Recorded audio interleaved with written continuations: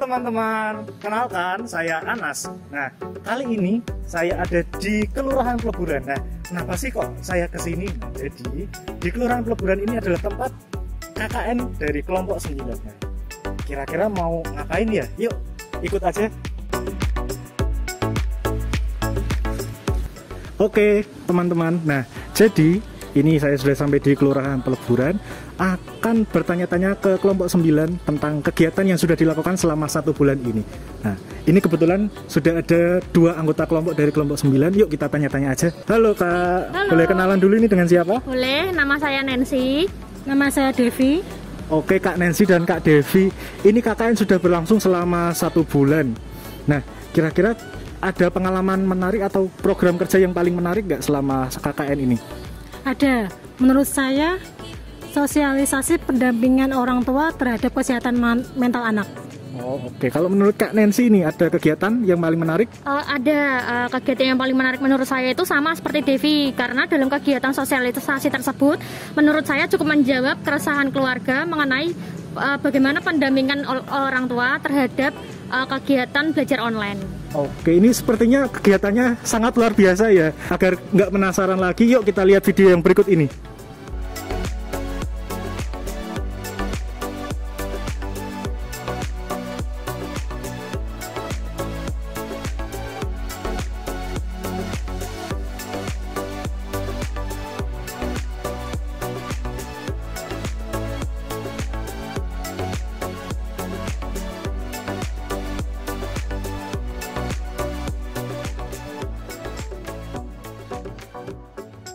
Ini di belakang masih ada dua anggota KKN yang sedang bekerja. Nah, ini kira-kira lagi apa? Yuk wawancara aja. Halo Mbak. Boleh kenalan dulu namanya siapa? Saya Selvita. Saya Ivani. Oke, Kak Selvita dan Kak Ivani. Nah, selama KKN berlangsung ini kegiatan apa yang paling seru menurut Kak Selvita dan Kak Ivani? Hmm, kalau menurut saya sih kegiatan yang paling seru waktu itu kita dari kelompok 9 pembagian masker dan hand sanitizer. Kalau menurut Kak Ivani, Uh, menurut saya sama pembagian masker, pembagian maskernya itu di sekitar warga kelurahan Beburan. eh, ingin tahu lebih lanjut tentang pembagian masker, yuk kita lihat video yang berikut ini.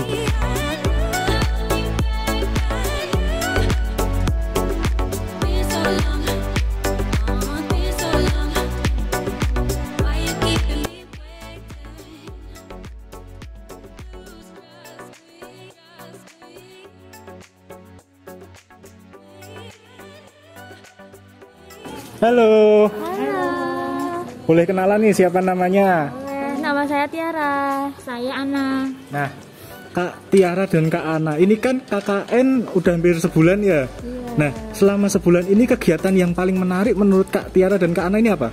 Kalau menurut saya dari kelompok KKN ini yang paling menarik itu kita tuh mengadakan sosiali- sosialisasi pencegahan COVID di SDITL Firdaus, Mas.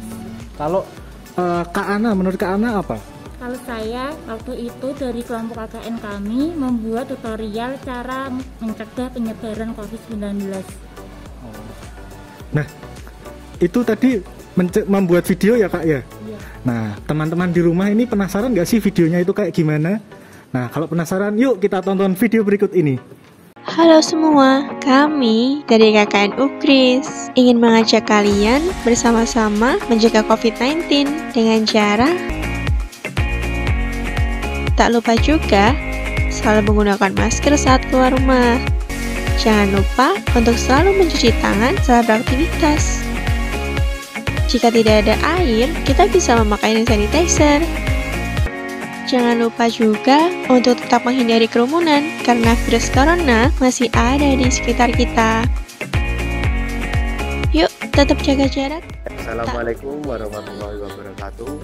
Saya Muhammad Fajar Fariski. Saya Ketua Kelompok 9 KKN Uklis.